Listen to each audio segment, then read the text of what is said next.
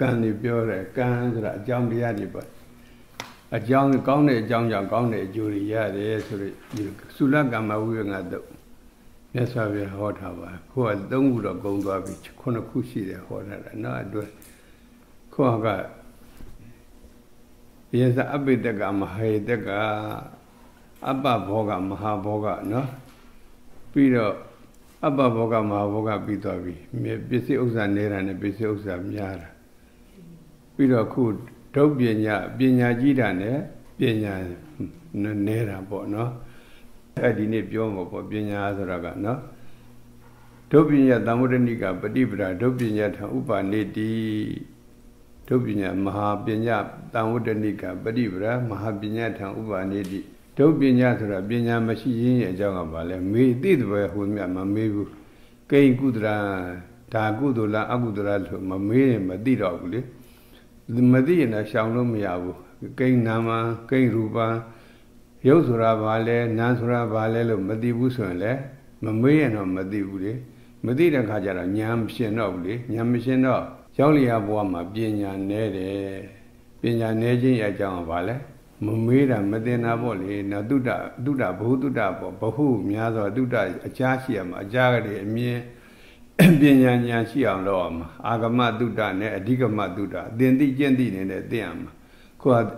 အဲ့လိုမမေးရင်တော့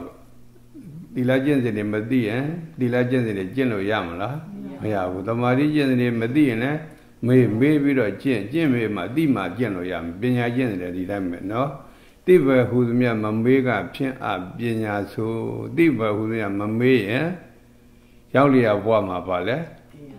ပညာနေခြင်းရဲ့အကြောင်းလို့သိပါရုပ်ဆိုတာဘာလဲလို့ရုပ်ဘယ်လောက်ရှိသလဲလို့မမေးရင်တော့သိပါမလားကဲကဲရုပ်တွေပြောခဲ့ပြီရုပ်ကဘယ်လောက်ရှိသလဲ28ပါးအဲ့ဒါသင်္ချာတော့သိသွားပြီဘာလဲသင်္ချာပဲသိတယ်28ပါးတော့သင်္ချာလောက်တော့သိသွားပြီပေါ့နော်သင်္ချာနေဘာရုပ်ရုပ်တွေကဘယ်လောက်ရှိသလဲဘာရုပ်တွေလဲလို့မေးရင်သင်ချေကြတော့မသိသေးဘူးပေါ့ဟုတ်လားရုပ်28ပါးဆိုတဲ့သင်္ချာတော့မသိဘူးလား 28ပါးအရေးအတွက်ပဲသိတာပေါ့ရုပ်ဘယ်လောက်ရှိသလဲရုပ်ဆိုတာဘာလဲရုပ်ဆိုတာကဖောက်ပြန်တတ်လို့ယုတ်ယုတ်ဆိုတာဘာလဲအဲတေတုံနာတိဝေရောတိပစ္စယေနတိတအုံနာအစရှိသောဆန့်ကျင်ပဲဆိုအကြောင်းတွေကြောင့်ဖြောက်ဖောက်ပြန်တတ်လို့ပို့ပါလဲယုတ်နော်အဲယုတ်ကဖောက်ပြန်တဲ့သဘောကိုပါလဲယုတ်ယုတ်ကဘယ်လောက်ရှိသလဲ20ယုတ်ဘယ်လောက်ရှိလို့မြဲသူများပြောတော့20ရှိတယ်လို့20လည်းမှတ်တော့ 20ဆိုတော့သင်္ချာတော့မသိဘူးလားအဲဘာယုတ်တွေကဘယ်လောက်သင်ချရေးပြရေးတတ်ပြသားမှာဆိုတော့မသိသေးဘူးပေါ့နော်သင်ချာသိသလိုသင်ချေလည်းသိအောင်သိအောင်ဟိုနေ့တော့ပြောတော့ပြောပြီးပါပြီနော်အဲ့လိုသိမှပါလေဉာဏ်ရှင်းတဲ့နောက်ပညာကြီးစင်းကြီးကြောက်တယ်မဲ့ဟုတ်လားသိတော့ဉာဏ်ပညာမကြည့်ဘူးလားရောက်လျာဘဝမှာအဲတန်တရားလဲပြီးဆိုရင်ဘဝတိုင်းဘဝတိုင်းမှာဉာဏ်ပညာကြည့်တယ်နော် ခွေးတော့မတူလားဉာဏ်ကောင်းတဲ့ခွေးနဲ့ဉာဏ်မကောင်းတဲ့ခွေးဟုတ်လားတေချာကြည့်ပါတေချာလူတွေလည်းကြည့်ပါနော်အဲအဲ့လိုသိအောင်လုပ်အောင်ပါယုတ်က28မျိုးရှိတယ်ကမ်းကြောင့်ဖြစ်တဲ့ယုတ်က78မျိုးဝိပဿနာရှုတဲ့ယုတ်က78မျိုးရုပ်စစ်ရုပ်အတုက10မျိုးလို့သိဖို့အဲရုပ်တွေကသင်္ချာနဲ့တကွာသိရင်မကောင်းဘူးလားကောင်းတယ်ပထဝီယုတ်ယုတ်ကဘုရားဟောတဲ့ယုတ်ဒီအမုံလေးတွေနဲ့တိဆောက်ထားတာလို့ ကလစီတွေတွေ့ရမယ်အမုံမှမတွေ့တဲ့ရုပ်ကိုမတွေ့နိုင်ဘူးเนาะဒါကြောင့်ဘုရားဟောတဲ့ရုပ်ကိုသိဖို့ရတော့ဘာလို့ရမလဲအမုံချမှာအမုံချဖို့ရတော့ဓာကြီးလေးပါရှုရမှာနော်အစစ်စနစ်မှန်ဖို့မလိုဘူးလားအဲဓာကြီးလေးပါရှုတဲ့အခါအကုန်လုံးကဓာကြီးလေးပါအားလုံးကရှုလိုက်တော့30ပုံလုံးကိုယ်တည်းမဟုတ်ဘူး30ပုံလုံးကိုကြည့်တယ်ဓာကြီးလေးပါနဲ့စိုက်ရှုလိုက်တော့ဗာလဲအမုံတေးလို့သိပြီဆိုမကောင်းဘူးလား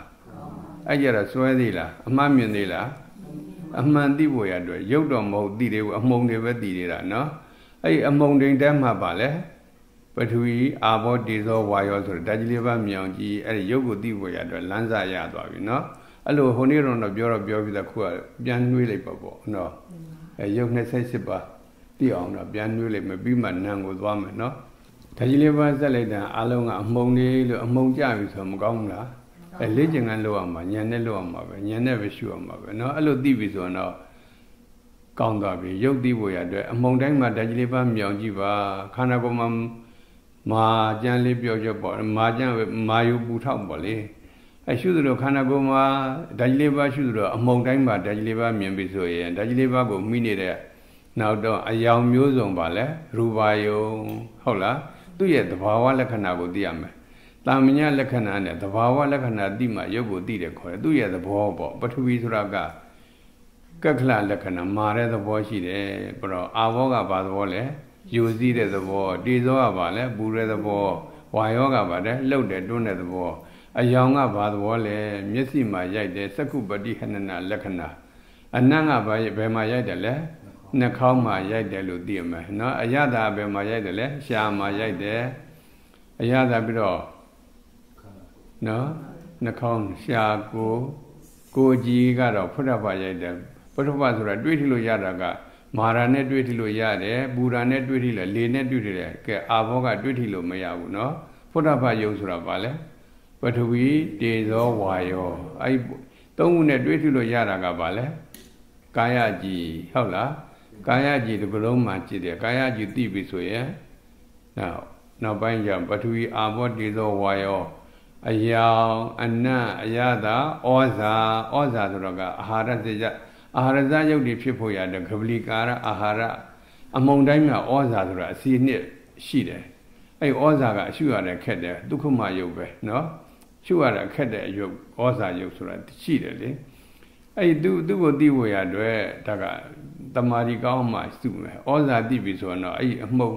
အမုံတိုင်းမှာဒီရှင်မျိုးတွေ့နေပြီဆိုတော့အဲ့ယုတ်တွေသိဖို့ရတဲ့ လမ်းစာကောင်းရသွားပြီနော်ကဲအဲ့လိုသိပထဝီရုပ်သိရင်ပထဝီသိတဲ့ဉာဏ်မရဘူးလားရတယ်အဲ့လိုသိပြီဆိုတော့အဲ့ပညာကြီးစဉ်အရောထက်ကထက်ကပွားလို့မရဘူးလားပွားရင်ဘောကတန်တရားမတက်ကရုပ်ကိုသိဖို့ရတဲ့ပထဝီရုပ်ကိုသိတယ်ခေါ်တော့ဗောနော်ပထဝီရုပ်သိပြီဆိုတော့အာဘောရုပ်သင်ပြီးပြီသင်တို့သူများပြောတဲ့အတိုင်း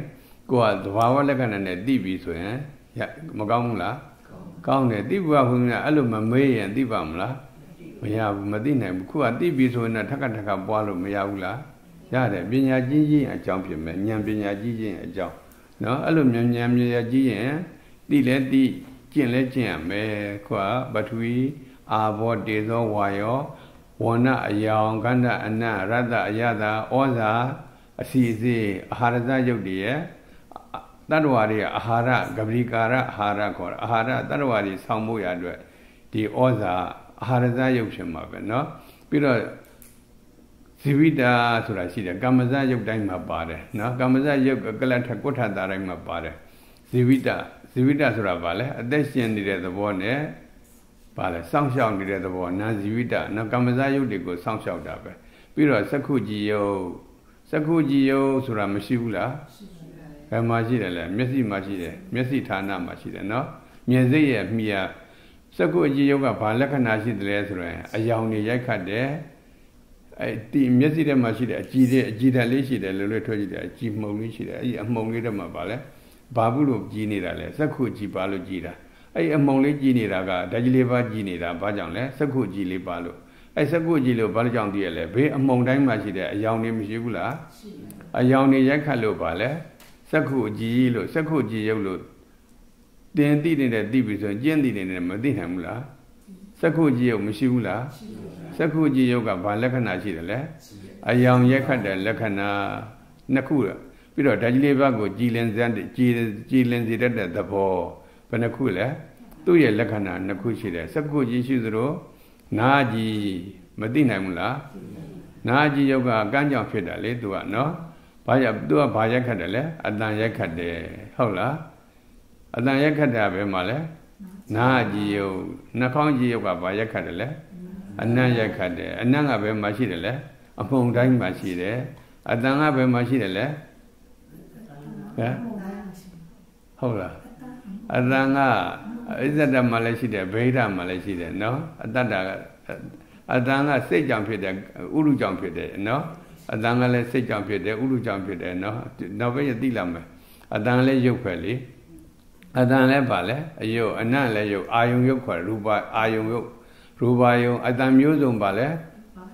တတ္ထာယုံအနံ့မျိုးစုံကန္တာယုံအယဇာမျိုးစုံရတ္တမျိုးအတွေ့အထိမျိုးစုံအတွေ့မျိုးစုံဓမ္မယုံအဲ့အာယုံလေးကြောင့်စိတ်တွေဖြစ်တာနောက်ပိုင်းစိတ်တွေဖြစ်ဖို့ရတယ်အာယုံဆိုတာယုတ်လည်းရှိတယ်နာလည်းရှိတယ်နော်ခေါ်ယုတ်အာယုံကြောင့်အယောင်အာယုန်နေဆိုရင်ဘာဘာစိတ်ဖြစ်မလဲမြင်စိတ်ဖြစ်မယ် အတန်အာယုန်နေနဲ့စက္ခုကြည့်နဲ့တွေ့နားကြည့်နဲ့တွေ့တော့ဘာဖြစ်မလဲအဲအဲ့ဒီအာယုန်ကြောင့်ဖြစ်ကိုယ်ကြောင့်ဖြစ်တာမဟုတ်ဘူးအကြောင်းကြောင့်အကျိုးဖြစ်တာဖြစ်ပြီးတော့လဲမြဲတော့မြဲလားမမြဲတာကိုအနိစ္စလို့မြောင်ကြမှာအနိစ္စဆိုတာဘာလဲ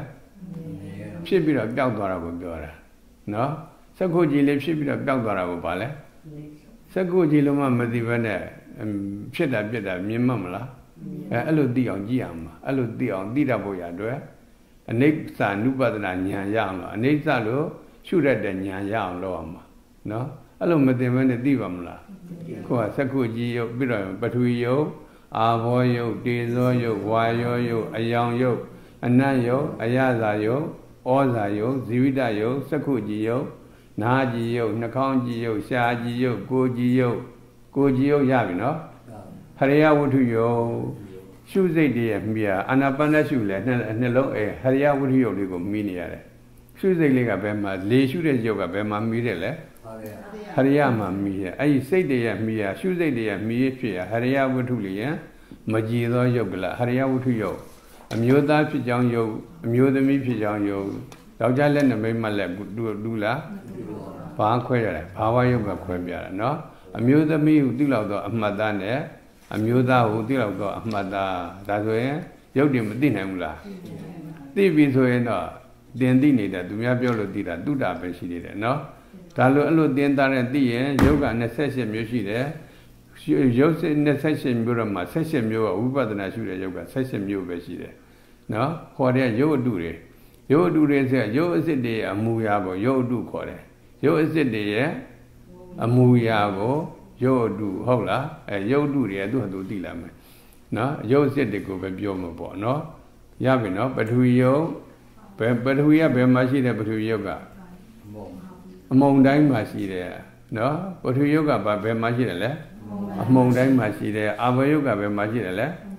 အမုံတိုင်းမှာရှိတယ်ဟုတ်လားအစ္ဆတမှာလည်းရှိတယ်ဘေးတဲ့ပါရမေ30ပုံလုံးကပါလဲအမုံတွေအဲ့လိုသိရင်မကောင်းဘူးလား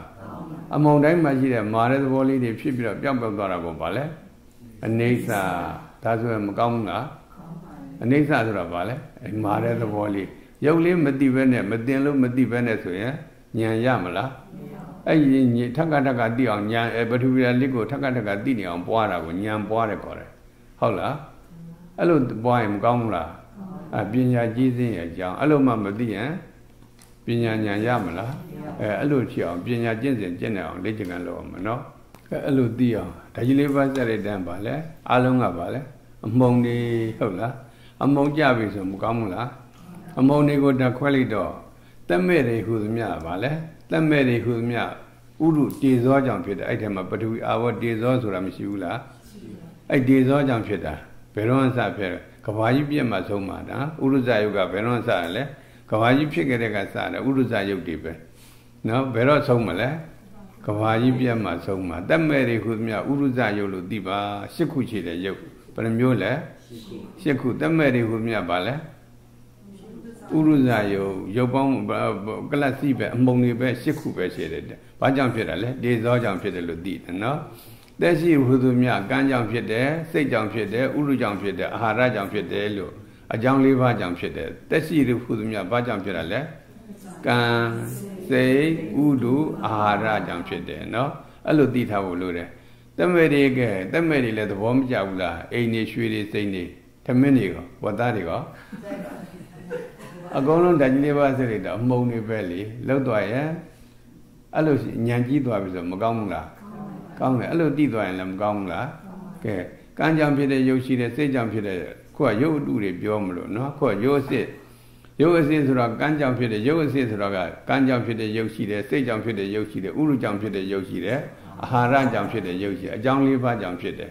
အကြောင်းနဲ့တကွသိမှကောင်းတယ်ပေါ့အကြောင်းလည်းသိမှအကျိုးလည်းသိမှဒါဆိုရင်အကြောင်းဘာဖန်ဆင်းခြင်းကြောင့်ဖြစ်တဲ့ကဲသိခြင်းအကြောင်းမရှိဘဲဖြစ်တယ်ဆိုတဲ့အယူတွေရှိတယ်အဲ့ဒီယူတွေပျောက်ဖို့ရတယ်ဗာလဲအကြောင်းမှအကျိုးမှစိတ်ကြောင့်စိတ်ရဇယုတ်တွေဖြစ်တယ် စိတ်ကိုမှမသိဘဲနဲ့စိတ်ရဇယုတ်သိပါမလားကဲစိတ်ရဇယုတ်ကဘာကြောင့်ဖြစ်တယ်စိတ်ကြောင့်ဖြစ်တယ်ပေါ့ဒီစိတ်ကြောင့်ဒီစိတ်ရဇယုတ်တွေဖြစ်တယ်ဟုတ်လားဒီတေဇောဥရုကြောင့်ဥရုဇယုတ်တွေဖြစ်တယ်အာဟာရကြောင့်အာဟာရဇကံကြောင့်ကံဇယုတ်တွေဖြစ်တယ်ဆိုရင်တန်တရားရှိအောင်မလား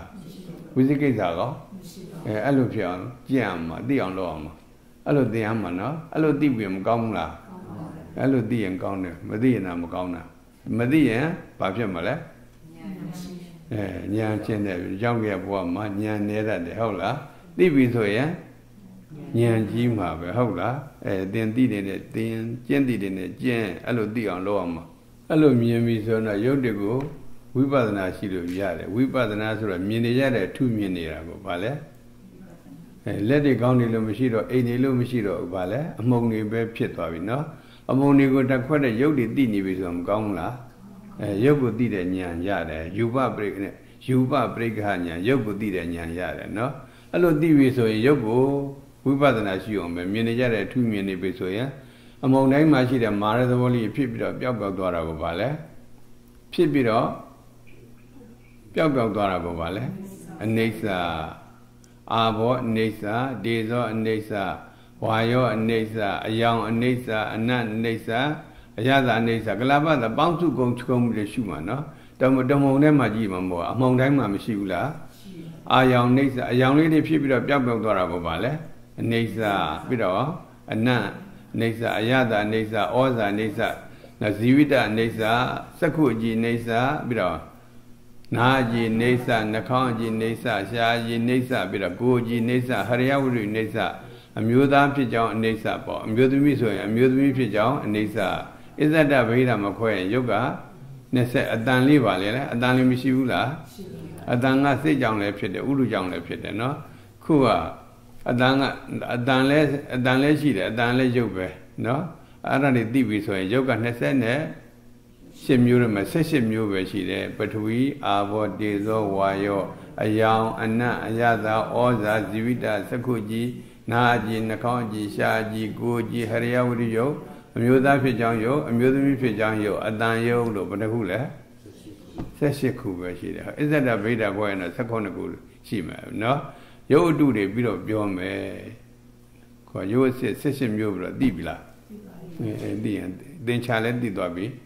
သင်ချင်းလည်းသိသွားပြီပေါ့ဟုတ်လားအဲ့လိုသိအောင်လုပ်အောင်အဲရုပ်တည်သိဖို့ရုပ်က28မျိုးမှာ78မျိုးသိဖို့လို့78မျိုးသိပြီးဆိုရုပ်အစစ်တွေရဲ့မူရ ခန္ဓာကိုယ်ကြီးဓာတ်ကြီးလေးပါစိုက်လိုက်တော့ဗာလဲအမှုံတွေပဲလေဟုတ်လားအမှုံတွေကြသွားပြီဆိုရင်လက်တွေကောင်းတွေလို့ရှိသေးလားမရှိတော့အမှုံတွေကပါတယ်မတ္တထပြီဆိုမတ္တထတဲ့အမှုံတွေဖြစ်မှာပဲသွားရင်သွားတဲ့အမှုံတွေဖြစ်မှာပဲဟုတ်လားထိုင်ရင်လည်းထိုင်တဲ့အမှုံတွေဖြစ်မယ်စကားပြောရင်တော့အဲ့ဒါကြောင့်ဝိညာဉ်ရုပ်ခေါ်တယ်ပေါ့ရုပ်အစစ်တွေရဲ့အမှုရာကိုပါလဲကာယဝိညာဉ်ခေါ်တယ်စကားပြောတဲ့ခါလဲစကားပြောဝစီဝိညာဉ်ဆိုတာတတ္တနော် စိတ်ကြောင့်ပြတဲ့ဝစီဝိညာဉ်ရုပ်ပေါ့နော်ပြီးတော့လဟုတာပြီးတော့အမှုံလေးတွေမှာကလတ်တမုံနဲ့တမုံကြားကိုပါလဲအာဂတတ္တအဲ့အာဂတမှာပြိစေရယုတ်ခေါ်တော့ပေါ့အဲ့ဒီအာဂတမှာမတွေ့နဲ့အမှုံတွေ့မလားအဲရုပ်အစစ်တွေအမူအရာကိုရုပ်အတုခေါ်တယ်ပေါ့နော်ရုပ်အတုကလည်းရုပ်အစစ်လားရုပ်အတုတွေရုပ်အစစ်တွေအမူအရာကိုပါလဲရုပ်အတုအဲ့မှာအစဆုံးဖြစ်တာကတော့ဥပစေယနော်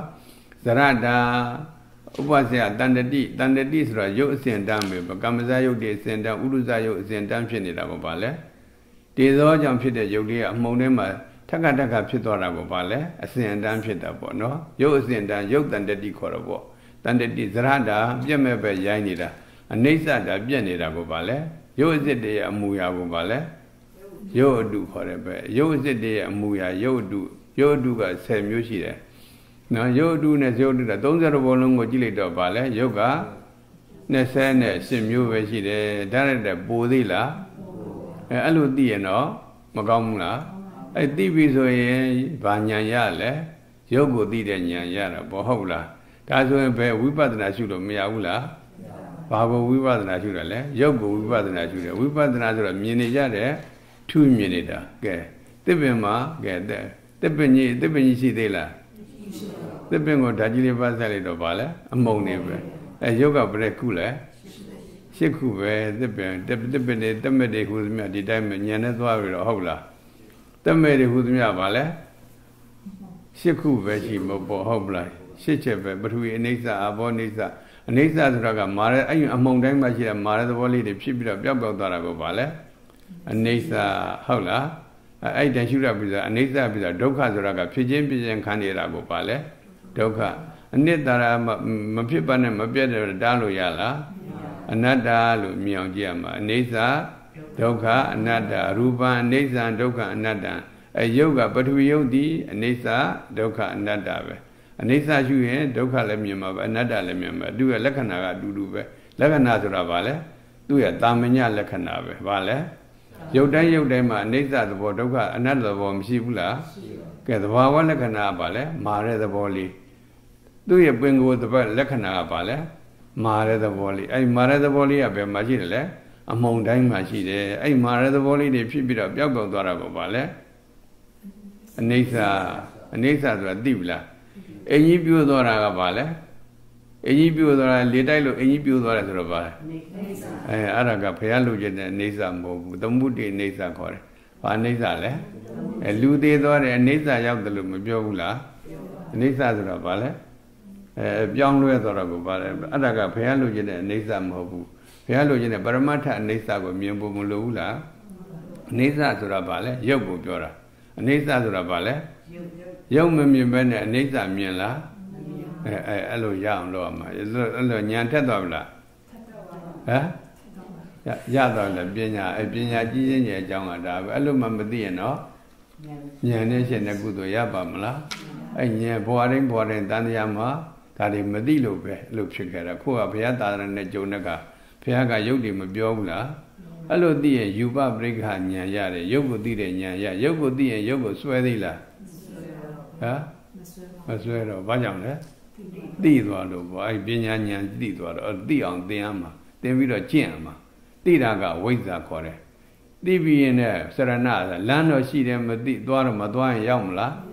သိတော့သိသွားပြီးတော့ခုကသိပြီဆိုရင်ဘာလို့ရမလဲအဲထက်ကထက်ကပွားမယ်ဟုတ်လားရပြီနော်ကဲဒါနိဗ္ဗာန်ရောက်ဖို့ရတယ်လမ်းကြောင်းပေါ်ရောက်သွားပြီဘာညာရသွားပြီလဲ ယူပပရိက္ခညာဘာညာလဲယူပပရိက္ခရုပ်ကိုသိသိတတ်တဲ့ဉာဏ်ရုပ်ကိုသိတတ်တဲ့ဉာဏ်ပေါ့ရှားပွေတတ်တဲ့ဉာဏ်ပေါ့နော်ရပြီနော်အဲအဲ့ဉာဏ်ရအောင်လို့ပွားပြီးတော့ဒီနေ့အစားပြီးတော့အဲအဲ့လိုရှိလက္ခဏာလက္ခဏာပြီးတော့ရတ္တကိစ္စနော်ပစ္စုပဒံပဋ္ဌာန်ပစ္စုပဒံဆိုတာကရှုရညာအထင်ပုံပဋ္ဌာန်ဆိုတာဖြစ်ကြောင်း အဲ့လေးခုနဲ့လိုက်ကြည့်ရမှာပရမတ္ထတတတိုင်းတတတိုင်းရုပ်တွေဟူသမျှပါလဲလက္ခဏာရတ္တပစ္စုပဒံပဋ္ဌာန်ဆိုတာရှိတယ်အဲ့ဒါနဲ့လိုက်ကြည့်ရင်ရုပ်တွေကိုကိုယ်ကိုယ်ပြပြသိတယ်ဟုတ်လားရုပ်တွေသိပြီဆိုရင်ရုပ်တွေသိဖို့ရတယ်နောက်ထပ်ဆရာဆရာဆရာလို့သိလားဟမ်ဟမ်မသိရင်တော့ရှားနေရမှာပဲဟုတ်လားကဲသိဖို့သိဖို့တော့မလိုဘူးလားလက္ခဏာရဲ့ ရသဆိုတာအလုတ်နော်ပထဝီဓာတ်လေးရဲ့အလုတ်ပြီးတော့ရှုတဲ့ညာအထင်ပုံပြီးတော့ဖြစ်ကြောင်းဒါဆိုရင်လက္ခဏာရတ္တပစ္စုပတံပဋ္ဌာန်နဲ့အဲ့မာတဲ့သဘောလေးကိုကြည့်အောင်ပါကြည့်ရင်မာတဲ့သဘောလေးရဲ့ပထဝီရဲ့လက္ခဏာပထဝီရဲ့အလုတ်ပထဝီရဲ့ရှုတဲ့ညာအထင်ပုံပြီးတော့ပထဝီရဲ့မာတဲ့သဘောလေးရဲ့ဖြစ်ကြောင်းအဲ့လိုပထဝီရှုဆိုတော့အာဘောတေသောဝါရောရုပ်တိုင်းရုပ်တိုင်းမှာသူ့လက္ခဏာ ရတ္တပစ္စုပဒံပဋ္ဌာန်ဆိုတာရှိတယ်အဲညက်ရုပ်တွေသိတဲ့သိအောင်လေ့ကျင့်ကန်လုပ်တာပဲနော်ဒါဆိုရင်ရုပ်တွေကိုပိုင်ပိုင်ခြားခြားမသိနိုင်ဘူးလားအဲ့လိုသိရင်မကောင်းဘူးလားအဲ့လိုသိတော့ဘာညာရလဲယူပပရိက္ခညာရပြီဆိုရင်အရူပပရိက္ခညာရဖို့ရတော့ခုကသွားမယ်နော်အဲနံကိုသိဖို့ရတော့သွားမှာပေါ့နော်အရူပပရိက္ခညာအရူပဆိုတာရူပယုတ်အဆိုတာယုတ်မဟုတ်တာကိုပါလဲ နာမ်ခေါ်တယ်နော်နာနာမပရိက္ခဉာဏ်လည်းရခေါ်တယ်အရူပပရိက္ခဉာဏ်လည်းရတယ်နော်အဲနာမ်ကိုသိဖို့နာမ်ဆိုတာကအာယုံကိုညွတ်ကိုင်းဆိုင်တဲ့သဘောကိုပါလဲနာမ်နာမ်ဆိုတာပါလဲအာယုံတို့ညွတ်ကိုင်းဆိုင်တဲ့သဘောညွတ်တဲ့သဘောနော်နော်မြင်စိတ်လေးကဘယ်မှာညွတ်တယ်လဲအာယုံအရူပါယုံမှာညွတ်တယ်ပေါ့နော်အဲ့ဒီအာယုံတို့ညွတ်တဲ့သဘောကိုပါလဲ နာမ်ခေါ်တယ်ပေါ့နာမ်ကဘယ်နှမျိုးလဲစိတ်နာမ်နဲ့စေတသိက်နာစိတ်နာအာရမဏစင်တိတိစိတ်တံအာယုံကိုသိတဲ့သဘောကိုပါလဲစိတ်တံစေစိတ်နံပြီးတော့စေတသိက်နံစိတ်နဲ့ရှင်လို့ဘလို့ပါလဲစေတသိက်ခေါ်တယ်စိတ်နဲ့ရှင်လို့စေတသိက်ဟုတ်လားစိတ်နဲ့စေနဲ့စေတသိက်ဆိုတာဧကုပ္ပါဒအတူတူဖြစ်တယ်အတူတူချုပ်တယ်အတူတူအယောင်သိရင်လည်းအတူတူကိစ္စလည်းနော်ပြီးတော့ ဝဋ္ထုတူတယ်အာယုန်နဲ့တူတယ်ကတော့ဧကုပ္ပါဒဧကနိရောဓ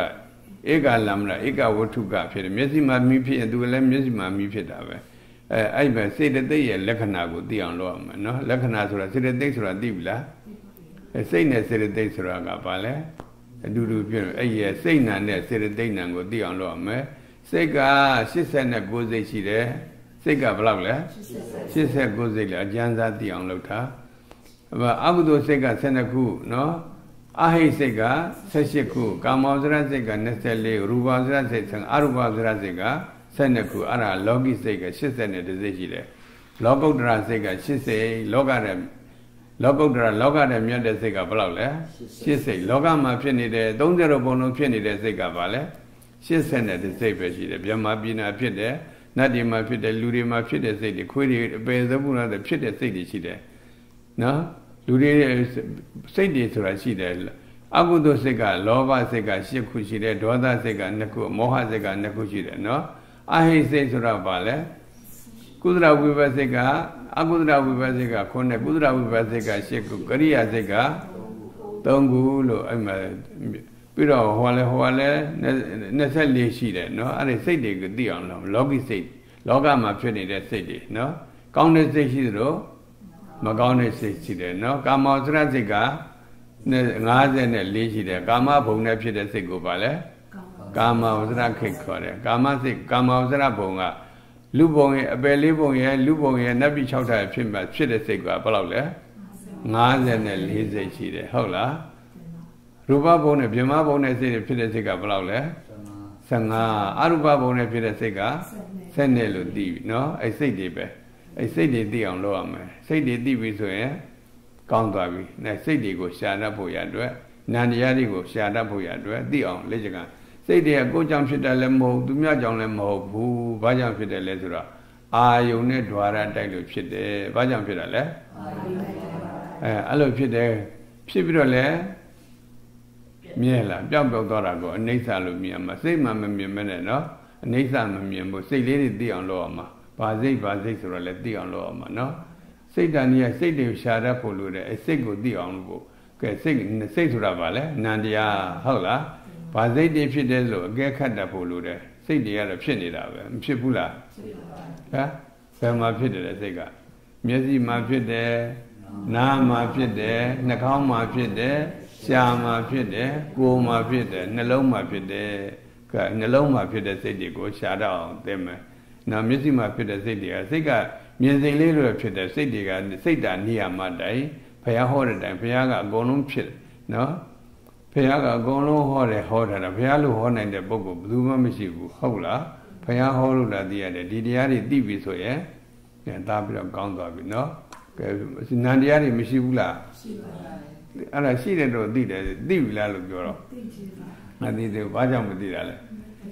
မမေးလို့ပေါ့မပေးလို့မသိလို့ပေါ့အသိပဲဟိုမြမမေးကြတာဖြင်းအပညာချိုးဘယ်တော့မှသိမှာမဟုတ်တော့ဟုတ်လားအဲဒီဘဝတော့သိအောင်ကြိုးစားဖို့တော့လိုတော့ဟုတ်လားอืมနံကိုစိတ်နံတဲ့စေတသိက်နံအဲဒါကတော့စိတ်ဒီစေတသိက်တွေတော့ကွဲအောင်လို့လုပ်အောင်မလို့နော်အဲ့လိုအကုသိုလ်စိတ်နဲ့အကုသိုလ်စိတ်လောဘစိတ်ဒေါသစိတ်တော့ဒီနေ့တော့အကက်ခတ်တတ်မှာပါပဲနော်မောဟဆိုတော့ဗာလဲမသိတဲ့စိတ်ပဲ ရုပ်ဒီလည်းမသိနာမ်ဒီလည်းမသိဘူးဆိုတာမောဟကမဖုံးဘူးလားလောဘဖြစ်မှလည်းမသိဒေါသဖြစ်မှလည်းမသိရင်လည်းမောဟဖုံးတာပဲဒါကြောင့်မို့လောဘဒေါသမောဟတွေတော့နည်းနည်းအမကောင်းတဲ့စိတ်တွေပဲဟုတ်လားကုသရဝိပက်ဆိုတော့ကောင်းတဲ့တွေမြင်ရဲ့အိဋ္ဌာယုန်နဲ့တွေ့ရင်ကုသိုလ်ကုသရဝိပက်ဖြစ်မယ်မြင်စိတ်တွေရှိတယ်နော်အဟိတ်အကြောင်းမရှိဘူးဒါကြတော့ကောင်းတဲ့တွေကောင်းတဲ့အာယုန်နဲ့မြင်နေရပြီဆိုတော့ဘာဖြစ်မှာလဲကုသရဝိပက်စိတ်ဖြစ်မယ် မကောင်းတဲ့အာယုန်တွေမြင်နေရပြီဆိုရင်အကုသရဝိပက်စိတ်တွေဖြစ်မှာပဲဟုတ်လား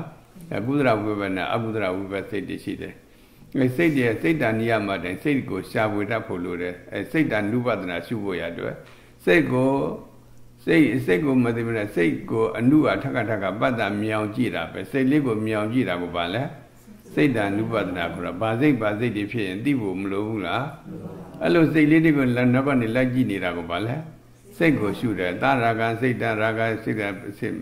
နော်ရာဂရှိရင်ရာဂစိတ်လေးပြည့်တယ်မယ်ဝိရာဂစိတ်တနော်တန်ခိတစိတ်တံဝိခိတစိတ်တံအဲ့လိုစိတ်တွေကိုသိအောင်လုပ်ပြီးပါစိတ်ပြန့်လဲပြန့်လို့သိရမယ်နော်သိပြီးတော့လည်းအစိတ်လေးတွေဖြစ်ပြီးတော့ပျောက်ပျောက်သွားတာကိုပါလဲအနိစ္စဒုက္ခအနတ္တရှုနေအောင်လေ့ကျင့်ကြလို့အောင်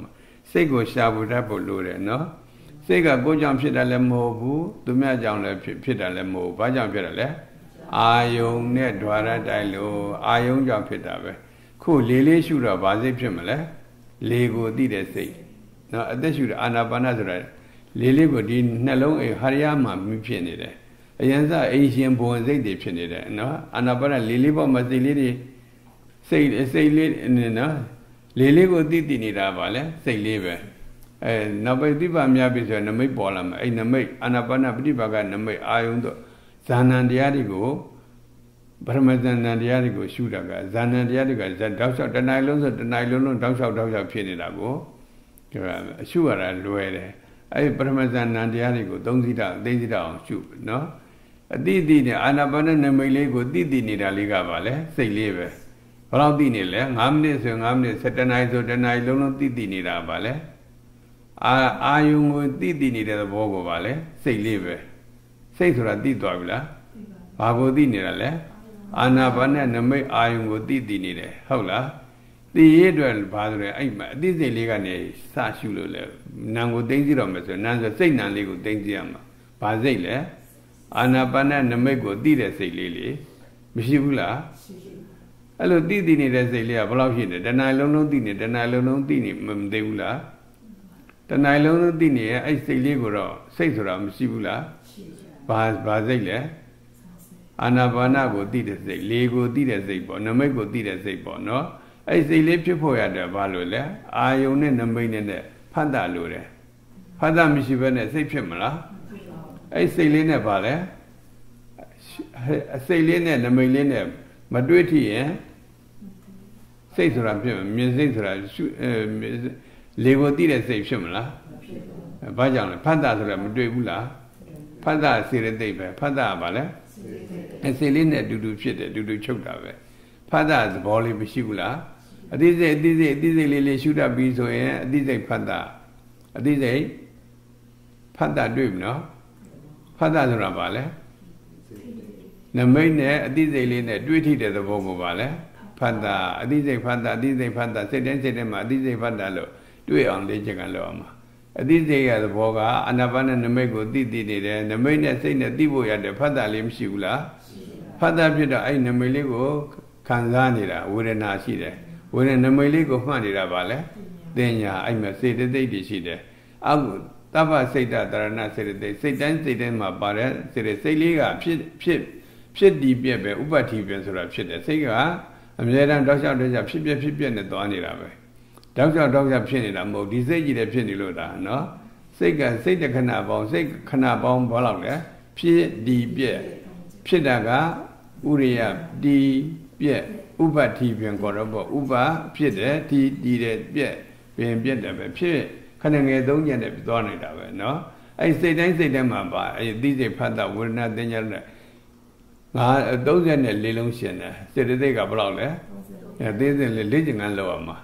စိတ်တိုင်းစိတ်တိုင်းမှာလဲ34 34လို့အကျဉ်းပေါင်းများစွာဖြစ်နေနောက်ပိုင်းကျတော့လေ့ကျင့်ခန်းမလုပ်ရင်တော့မရနိုင်ဘူးပေါ့ဟုတ်လားအသေးစိတ်လေးတွေရှုတတ်ပြီဆိုရင်ဖတ်တာလည်းမတွေ့နိုင်ဘူးလား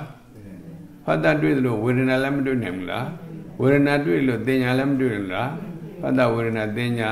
စေရနာအဲ့တမ်းမြုပ်တရားတွေကိုအဲ့မှာအာယုံဘောတို့စိတ်ဆော်ပေးနေတဲ့သဘောလေးနော်ဖတ်တာဝေဒနာသင်ညာမနတိကာရအာယုံနှလုံးသွင်းနေတဲ့သဘောလေး အဲ့အာယုံမှာစိတ်ရောက်နေတာကိုဗာလဲဧကဂရသဘောနောက်ပိုင်းကျဝိတက်သဘောဝိသရဝိတက်အာနာပါနနမိတ်တော့တင်းတင်းပေးနေတာဗာလဲဝိတက်အဲ့မှာဝိတက်စေတသိက်ပဲနောက်ပိုင်းဇိုင်ငါတွေဖြစ်တဲ့ခါကျဝိတက်ဝိသရပိတိဒုက္ခဧကဂရဆိုတာအဲ့မှာနာတရားတွေကိုပြန်ရှုတယ်ဇိုင်အင်္ဂါဆိုတာကဒီငေးဝိတက်ဝိသရပိတိဒုက္ခဧကဂရဆိုတဲ့ဇိုင်အင်္ဂါ၅ပါးရှိတယ်ဇံဖြစ်ဖို့ရအတွက် စိတ်ကိုယ်အကုသိုလ်နိဝရဏတတွေခွာထားဖို့ရအတွက်ဒီ၅ခုနဲ့အလုံးလုံးနေတာကိုပြောတာအဲ့ဟာကိုဇာဏတရားတွေဒါကဇိုင်ငါတွေကိုဆင်တဲ့နန္တရားတွေရှုလို့လွဲသွားပြီနာငါဘယ်လောက်လဲ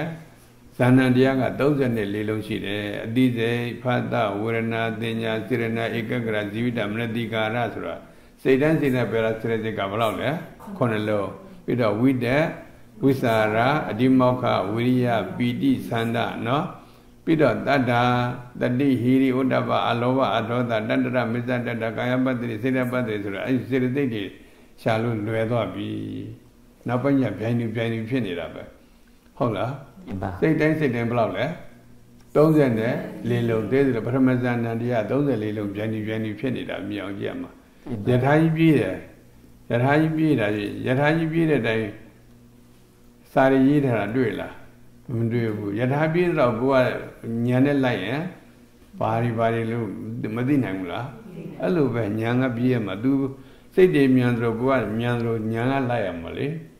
အဲ့လိုမှမသိသိတာရင်နန္တရားတွေကမသိနိုင်ဘူးဟုတ်လားပညာညည်ဉာဏ်ကြီးခြင်းရဲ့အကြောင်းပညာဉာဏ်နည်းခြင်းရဲ့အကြောင်းသိသွားပြီเนาะဒါကြောင့်မို့ပညာဉာဏ်ကြီးခြင်းအကြောင်းကိုလုပ်ပါတဲ့ရုပ်တည်နာနေကိုသိရင်မသိရင်သင်မှာ မေးပါမေးပဲသင်မှာသင်မသင်ပဲသိပြီဆိုရင်ကောင်းတယ်ယုံနံပဲရှိတယ်30ပုံလုံးကိုယုံနံလို့ပဲယုံနံပဲရှိတယ်ယုံနံကလွယ်ရင်ငါသူတော်ဘာယောက်ျားမိန်းမပုဂ္ဂိုလ်တ attva